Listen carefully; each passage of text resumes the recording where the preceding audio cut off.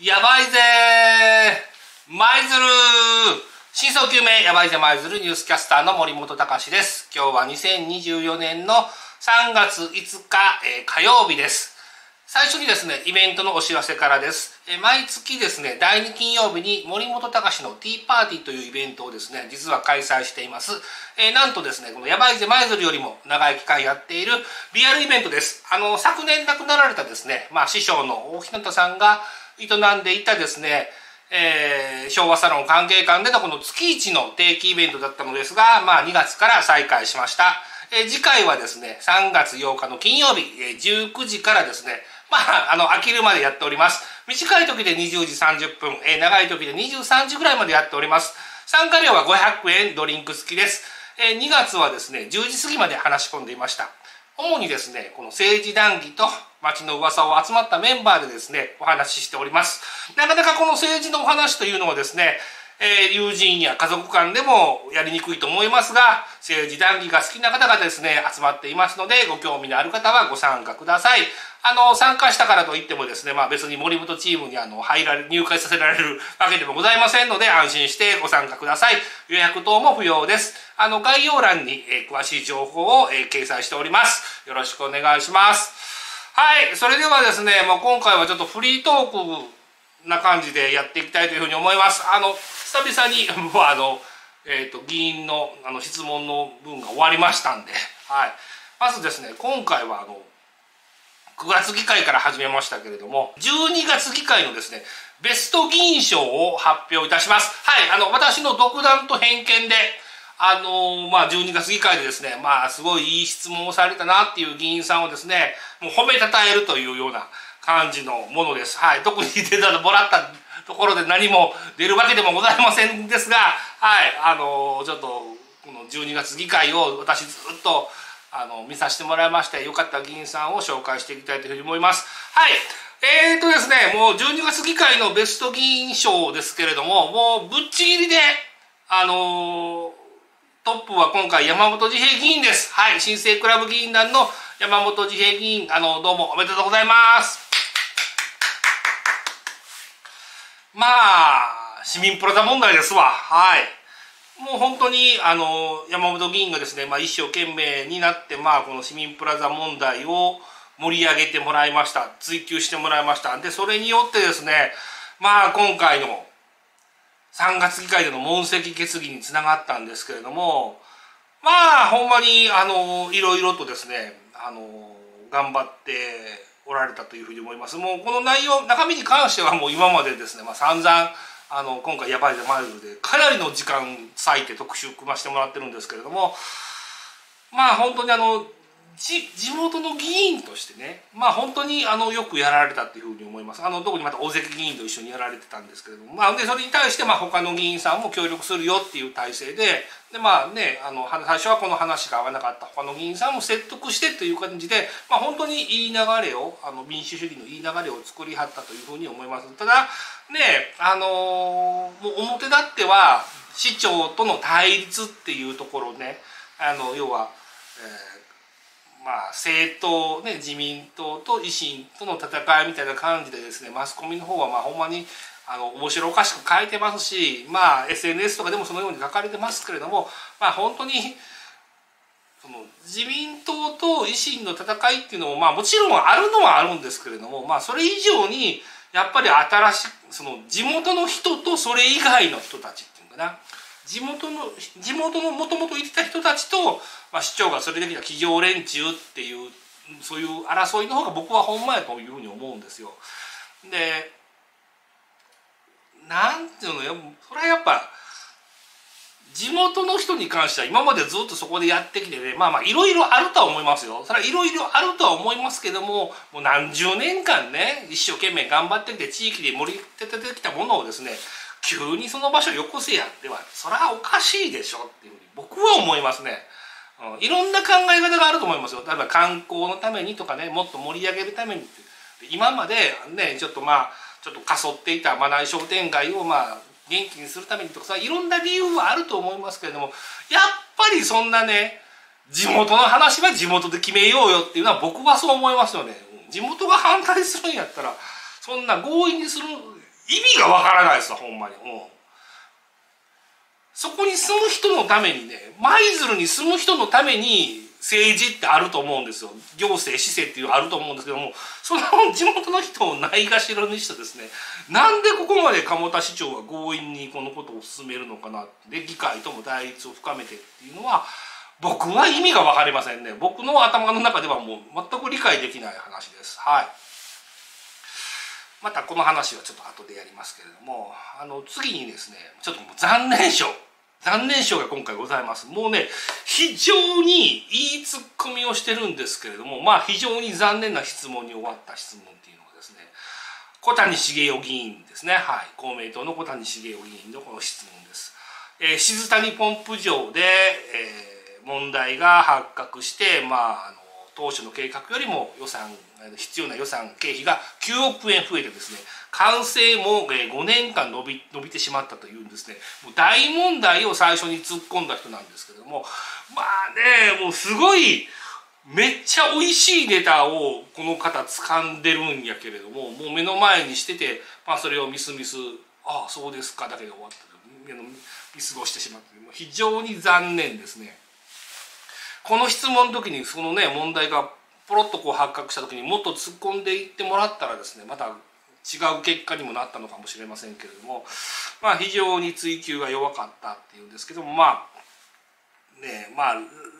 まあ、単純にまあね偶然ラッキーでまあこのねえっ、ー、とすごい誰もが知らない情報が引き出したんですけれどもうんここでちゃんともっと突っ込んでってもらもらいたかったなというふうに思います。ここでねもし小種議員が思いっきりガーッと追及していったらまあ12月のね、えー、ベスト議員は小谷さんになってたかもしれませんし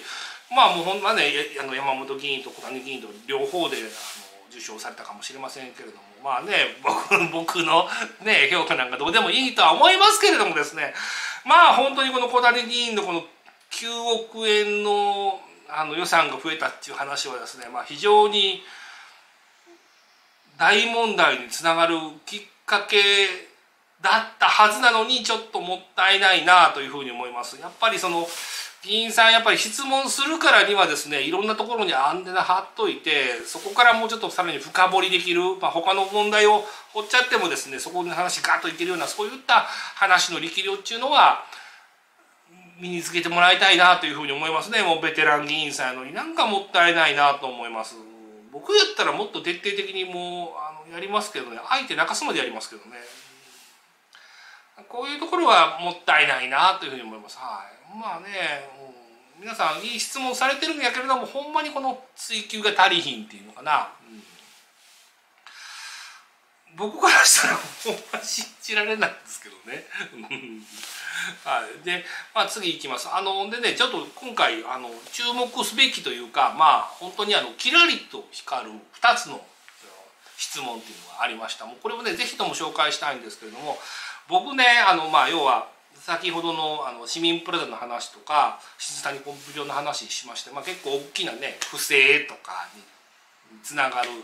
大問題過失につながる話してますけれどももっとちっちゃな舞鶴のことにもですね議員さん目を向けてもらいたいっていうふうに思うんですよ。もう本当に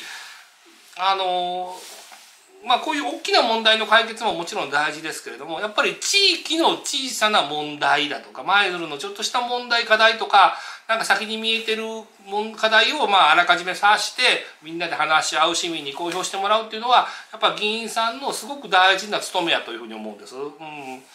あのもう本当にそれはやっぱり日頃のこのやっぱ地道な活動っていうのをされてないと、まあ、絶対分からへんところなんでまあ割と僕はそういうところの質問っていうのが好きですしやっぱ地域のこととかいろいろね防災のことをやってるとやっぱり小さなニーズっていうのがあちこちにあるとは分かってるんでやっぱそれを広げ上げていくっていうのが議員さんの仕事やと思うんですよ。で本来やったらねあの行政の職員がもっと町に出てですね市民の話を聞いて市民の意見を取り入れてっていうことをやるべきやと思うんですそういう町のリサーチっていうのをですね市の職員がやらなきゃいけないんですけどもそれがもうできてないじゃないですか。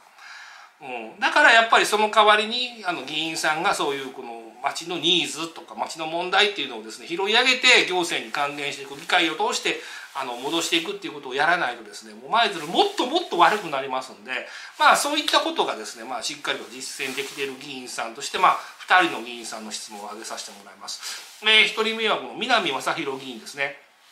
自民党覚醒クラブ議員団の質問なんです。けれども、えー、医療センター前の桜並木が枯れてきているとか倒れてきているっていう質問をされておりました、うん、もうほんまにやっぱこれはもう僕なんかも全く気づきもしませんでしたしもう知らない話だったんですけれどもまあやっぱね地元の桜の木桜並木が医療センター前のこの桜並木非常に綺麗ですけれどもまああれがもう桜の木がねあの高齢化っていうかまあ老朽化みたいなして少しずつ枯れていってるよとか倒れてきているとかとかいうのをこう写真付きで説明されていて、まあ、行政の方に何とかしてほしいみたいなお願いをされてたんですけれども、まあ、残念ながら行政の方は対応しませんっていうような回答でした。であのー、まあ本当にね今までたくさんの舞鶴市民もう僕の子供の時から桜並木ありましたからもう本当に何十年続いてる桜並木やと思うんですけれども、まあ、それが失われるっていうそれをね事前にサーチしてこれから対策の手を打っていこうという提案をされていくのはですね、まあ、本当に地域の密着型であの僕はそういうのは素晴らしいというふうに思いますね。あのもうその地元の人じゃないと、まあ、関係ない話なんかもしれませんけれどもやっぱりそういうこの自然っていうのも舞鶴の大切な財産の一つですからそういったところを守るっていうことの活動を、まあ、議会でされるっていうのはもう非常に僕はいい素晴らしいというふうに思います。もう舞鶴市の方がですね、まあそんなんできへんっていうふうにはっきりと言われてましたけれども、まあ諦めずにこの南議員も、あの、このね、舞鶴市に頼らない方法でも多分桜並木守る方法っていうのは多分あると思うんで、ね、地元の人たちの力でも、じゃあそれを、あの、ね、募金募ってやっていくとかなんかいろいろあると思いますもうね今の時代大変やとは思いますけれどもやっぱりせっかく素晴らしい桜並木があるんでやっぱそれを保存する活動っていうのをですね、まあ、ぜひぜひその地域の方でやってもらいたいなというふうに僕は願っております。まあね医療センターもほんまにあのなくなるっていう話も出てますんで一部では私のもとには届いてますんでまあその医療センターがまたなくなるかもしれませんけれどもそういう可能性があるかもしれませんけれども桜並木はその残してほしいなというふうに思います。はい。えー、もう一人はですねこの今西克美、えー、議員ですね。新生クラブ議員団のお話ですけれども。まあ これはね面白い。もう非常に面白かったです。はい。もうあのうん。こういうのは面白いね。やっぱこれこれはずっとやっぱこういうこと調べてはるから分かるんやと思うんですけど。あの熊の被害がありましたね。熊の被害があってまあ本当によくあの舞鶴のメール配信でもよくあの熊が出ました熊が出ましたっていうことばっかり配信してますけれどもこの熊の食べるものが変わってきてるっていうお話でした。熊の食べてるものが、まあ、昔は木の実だとかね。あの木の実中心木の実とかまああのそういうものが植物性のものが中心やったんですけども今はこう里に降りてきてとかあの里のものを食い荒らしたりしてるあの食害っていうのも問題なんですけども今特に問題なのはこの増えすぎた鹿をハンターが撃ってそれをまああの土に埋めてね埋葬して放置してることでそれをあの熊が掘り返してですね熊が鹿を食べるようになってしまったと。で熊普段肉を食べない熊がまあ、肉の味を覚えてしまったんで、まあ、肉食化して凶暴化していってですね人を襲うんではないかっていうような仮説のもとでこのいろいろなお話をされておりました。うんでまあこれはよう調べはったなってよう気づいたなっていうふうにすごく感心しましたやっぱこういうのは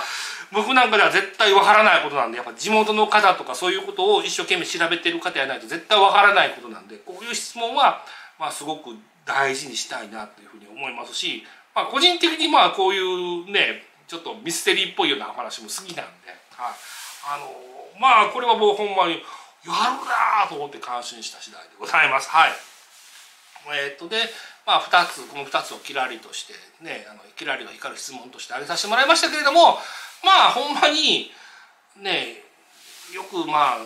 議員なんて仕事してへんよっていうふうにまあよく言われてますけど、まあ、僕もほんまにこの議会中継始めるようになってから議会中継あの議会の質問も、えー、の解説をするようになってから、まあ、本当に一生懸命、えーと、議会中継見てますけれどもいやいやそんなことはないよってってまあ、ちゃんとあの調べられてることもおるし、まあ、それはもうダメな議員もいますしっていうふうに思います。はい。あの本当に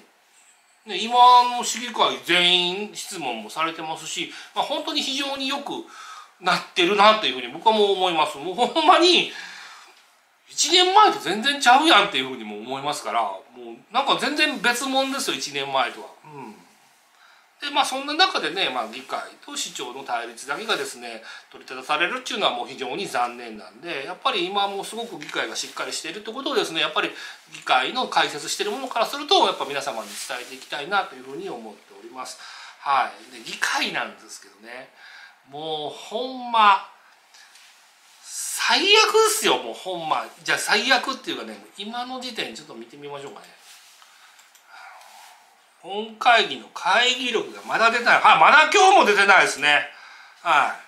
今日時点もですね、え舞鶴市議会の会議録が掲載されておりません。あの、去年の12月にあったですね、議事録ですね、会議録が未だ市民に公開されてへんっていうのは、もう一体どういうことなんでしょうかね。今まではですね、もう遅い遅いとは言いながらもですね、まあ次の、えー、次の議会が始まる直前にはですね、この会議録っていうのは、えー、行政のところにアップされてたんですけれどももう資料がそれもそれすらもなくなりました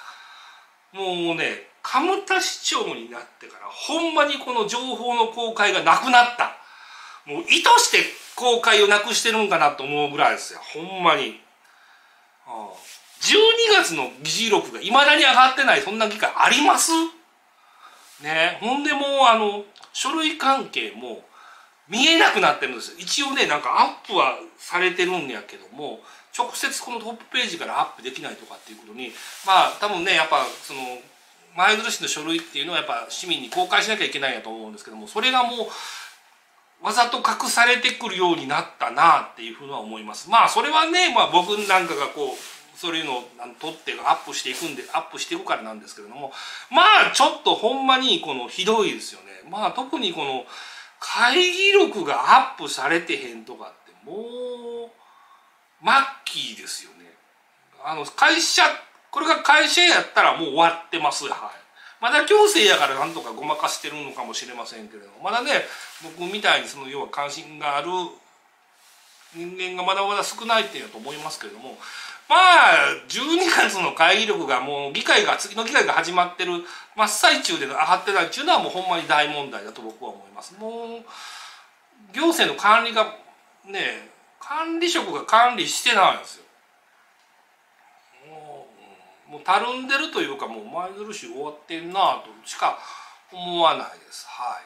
い、でまあそんな話なんですけれども、えー、ともうすぐですね3月7日からこの本会議が始まりますけれどもまあここで、えまた新たな火種が入ってますよねあの前回のあの舞鶴市長の問責決議の話なんですけれども、えー、新生クラブとまあ自民党の覚醒クラブはですね、まあ、市長に対してこの3月7日の本会議で謝罪とこのホームページの訂正を求めております。でまずはえー、木曜日から始まるですねこの舞鶴市長のこの問責決議のその後っていう、まあ、バトルが始まると思うんですけれども鴨田市長は一体今回何をしたいのかなっていうふうに僕は思いますよね。うん、一旦ねもう12月の話でもう終わった話をもう一回蒸し返して、うん、あれで終わりましたやんか。そのままもう普通にあの一応ねあのまあ勝った負けたで言うたらあの鴨田市長の方が負けたんでねでその、まあ、負けたんやったからそれはもう向こうの言うことに従うのがまあ普通だと思いますけれども、まあ、その話を全部ひっくり返してまあ逆にこのも相手が問題のように攻撃を始めたと。うん、でまあ相手の議員団を要は思いっきりバカにしてるわけですよね。あの嘘つきやとで署名を集めた署名も全くそれもなかったことですこの署名自体がなんか議員が作ったような誘導されたような議員の署名やというふうに言い切ってですね、えーと、1314やったかな、えー、1314筆の署名をもうなしにしたと。でその前にも80筆の署名が集まってんのにもかかわらずそれも、まあえー、副市長が無視してる放置してるっていうのがあってまあほんまに大概やなというふうに僕は思っております。でまあそれに関して、まあ、要は議会側がですね、まあ、自民党のみならず、まあ、共産党と公明党も一緒になっていやさすがにそれはあかんでしょ鴨田市長っていうふうなところに今なってるわけですわ。うん、でそれはもうね議会のもう大多数が問題視してるんでそれはもうやっぱりここはもう鴨田市長が頭下げへんかったらもう話進まへんし、ねまあ、その本人はどう思ってるかどうかは、まあ、また別の話としてねあのいろんな人が大多数の人がいやそれは問題やろっていうふうに思ってるんでそれを強引に鴨田市長側は通すのはそれはおかしな話でしょうっていうふうに僕は思います。で本来ならそれをね、えーと、うまいことやって議会と調整する副市長が本来ならね鴨田市長いやそんなん言うたら飽きませんよとかもうちょっとそんなそんなしたら相手怒りますよとかで私がちょっと議会に謝りに行ってきますとかって調整するはずの調整役の副市長が鴨田市長と一緒になってわもうわーわーわーわーこの騒ぎね乗じてもう舞鶴を混乱させてるんでまあ今回多分僕一番悪いのはこの副市長やと思うんです。うん、ね副市長もですねまあもともとねあの地元側の人間やったのがまあ急に裏切った状態になって、まあ、鴨田市長の手先となってもう地元をぐちゃぐちゃにしてしまったんでまあ今回は僕はほんまに一番悪いのはまあ副市長やとます。ま。あ、もちろん鴨田市長もあるんですけれどもやっぱり現場の最高責任者ででしかもやっぱ自分が関与していたことに対してねやってるんで。まあ、副市長が悪いんで、まあ、これはもうどう考えてもですね、まあ、謝罪鴨田鴨田市長が謝罪する時はもう副市長の首を切ってですねもう副市長の首を差し出して勘弁してもらう頭を下げてもう責任をね副市長も私が責任を取りますって言ってもそれでやめてもらうのが多分一番やと思うんですけれどもどうするんですかね。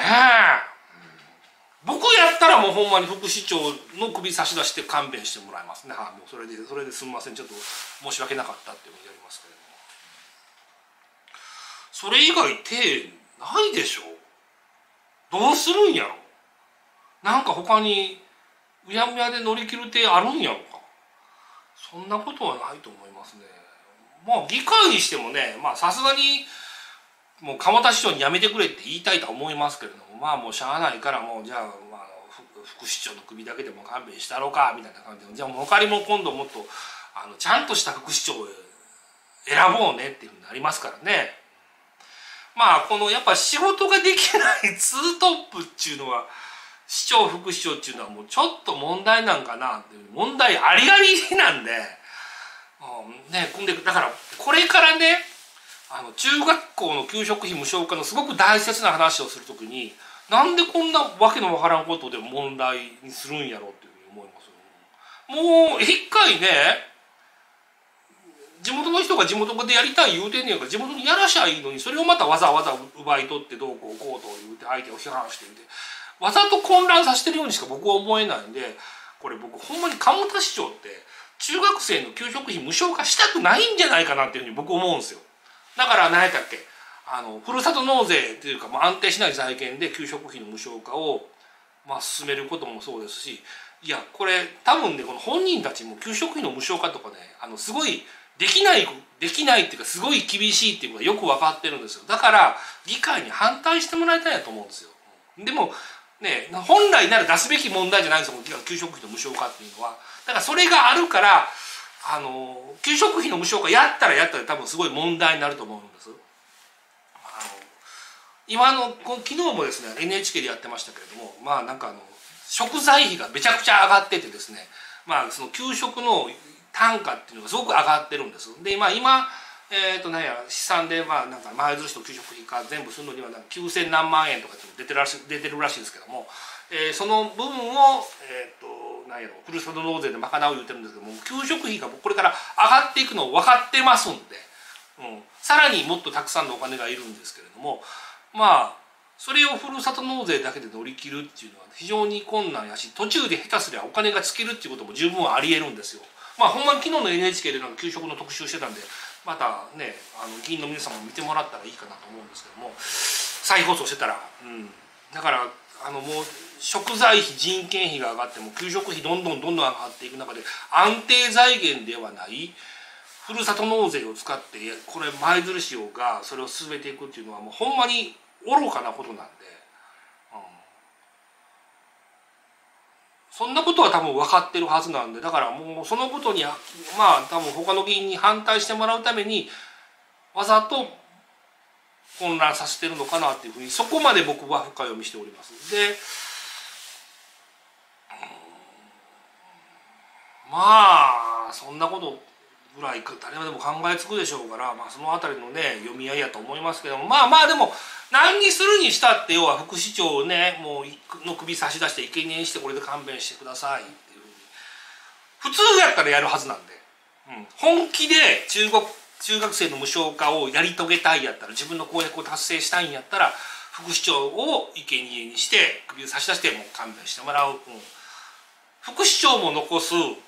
中学校の給食費も無償化も残すみたいな要は曖昧なやり方やったらそれはやっぱりもうもっと混乱させたいっていうふうな判断になりますんで議会と揉めたいんだなっていうパフォーマンスとして議会のやりたいんで議会を怒らしてこの中学生のこの給食費無償化を、えー、飛ばしたいみたいな感じだと思います。だから要はもう自分はすごいねいいアイデアを出していい提案をしてるのに議会に反対された議会のなんかもう要はなんかね昔からのしがらみによって邪魔された地元のね西舞鶴の既得権益によって中学生の給食費無償化が邪魔されたみたいなの。中学生で下手すら中学生の給食費無償化がマナー商店街のやつらが悪みたいなことになってきますからね。イメージ戦略的には、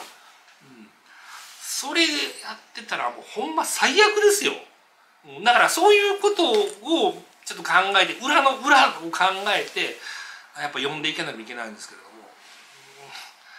まあ本当に僕はもうほんまよくわからないですね。今回のこの鴨田市長のやり方っていうのは。それはまあ多分自分のね維新の力をアップするためにはまあそういうやり方でもいいとは思うんでしょうけど、うん、それはやっぱ対立分断を生んでいってやっぱ自分の勢力を増していくっていうのがやっぱ維新の皆さんのやり方なんで対立と分担でねもう少しずつこう周りを取り込んで大きくしていくっていうのはまたそれは政治的なやり方なんですけれどもそれはもう舞鶴のやり方じゃないんで。やっぱり田舎っていうのはもう良くも悪くも協調という和っていうのがね、まあ、みんなで仲良くってなってしまうんですけども、まあそれはそれでも仕方がないところもあるんでやっぱこの地方はどんどんどんどんね力が弱くなってくるんでやっぱみんなで協力しないと生き残れないんやけどもまあそういったことをやらずにですねこのまだね都会まあ大阪とかやったら都会なんでそれをもうあの分断を繰り返してね自分の勢力を大きくするっていうのはありかもしれませんけど舞鶴はもうさすがにそれは無理だと思いますね。はい。で僕ねあの基本的にやっぱ少数派の見方なんですよ。もうやっぱやばいじゃ舞鶴見ていってもらったら少数派の見方なんですけれどもまあここに対してなんではじゃあ多数派の自民党の見方してんねやっていうふうに思われる方もおると思いますけれどもいやもうほんまにねその僕ずっと今もまあ少数派でやってますけれどもやっぱね少数派だからこそねやっぱ数の論理っていうのは大切にしたいというふうに思うんです。やっぱりその数を持ってるイコールやっぱりね本当にあのある程度一定の民意はそれはもうあるというふうに思ってるんです。で、まあ、気になってね、まあ、ちょっといろいろ調べた調べてみたんですけれども今回まああの自民党と共産党と公明党のこの、え3つの議員団が、えーと、市長の問責に賛成してるんですけれどもこの3つの会派の、えーと、議員さんの得票数っていうのをですね全部集計してみますと、えー、自民共産公明の3つの会派の議員の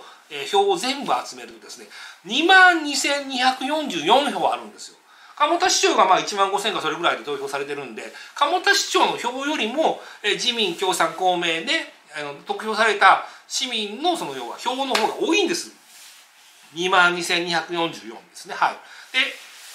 自民党の議員の得票数でも1万3399人の得票があるんですよ。でそれぐらいの皆さんがこの議員さんにを信頼して票を預けてるんでね。今なんかもうほんまにあのー、維新の議員だとか無会派の議員ね要は市長派の議員はいや数の暴力だ数の暴力だっていうふうに言うておりますけどもここまでの票数を持っている議員さんがそれはおかしいんやっていうところはですねしっかりと現実を受け止めてもらいたいなというふうに思いますね。うん、それはまあ数の暴力やって言いたいのは分かりますしまあ僕なんかもそういうふうにあの言う方ですけれどもやっぱりそこはちゃんとね、議論をしての話なんで今回ね僕らが言う時は議論もせずに数で押し切られるんですよ。もう要は市民の参加団がバシッと切られてですねあの参加もできずに意見も伝わらずに切られる側なんでもっともっとあなた方よりは厳しいんですよ。自分らはちゃんと議論をした上でねそれで反対されるならそれはもうはるかに私らよりもマシですわ。めちゃくちゃなんかそんな甘いことを言うなっていうふうに思います。で特に自分たちは議論ができるねあの誘導できる立場でもありながらそういうことをしない議論をができる立場でありながら議論をせずになんか勝手にブチ切れてるっていうのはちょっと鴨田市長が僕はもうほんまにやっぱ少数派としてもちょっと納得いかないですよね。うん、それは少数派じゃなくて要はもうおバカさんなんです。はい、少数派は少数派のやり方っていうのが絶対あるはずなんで少数派もねみんなでこう話し合うところにまず持ち込んでそこで相手を説得するっていうことをほんまに丁寧にやっていかなきゃいけないんですよ。数が少ないから少ないだけやっぱりしっかりとたくさんの人に説明しなきゃいけないんですけどもこの少ないなら少ないなりのやり方を戦い方をこの鴨田市長側はやってないんで、だからこんなことになってくると思います。でねまあ本当にあのまあこの舞鶴市民が集めたこの1314筆の署名とやっぱりあの、えーと、音楽クラブのお父さんお母さんと子供たちが集めたこの80筆の署名っていうのもですねないがしろにするっていうことは少数派でありながら少数派の意見をないがしろにしてはるんですこの鴨田市長側は。うんおかしいでしょってやっぱ少数派であるならちゃんと少ないね市民の意見をちゃんと聞いてもらいたいんだけどもそういう姿勢も見せずになんか少数のくせに多数の方を気取ってるっていうか多数派のやり方をしているまあこの鴨田市長のこのやり方っていうねでまあそれをねバックアップしてるだろうこの福田市長っていうのはもうほんまに僕からしたらポンコツですわ。だからもう全然だから